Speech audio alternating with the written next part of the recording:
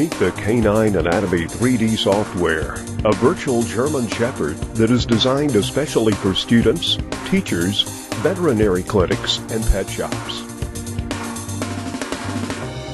It allows viewing all the systems one by one, or in any combination, at different angles and degrees of approximation.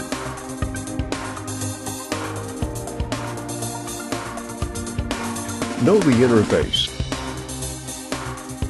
The left buttons control the display of the structures. They have more than one phase.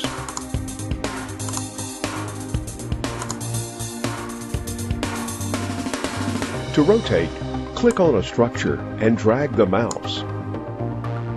To move, click on the background and drag the mouse.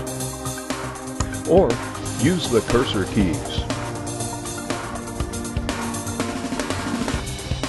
To zoom in and out, use the mouse wheel or the short keys equal and hyphen. To center, double-click in a structure. To do searches by the name of the structures, use the text box at the top right.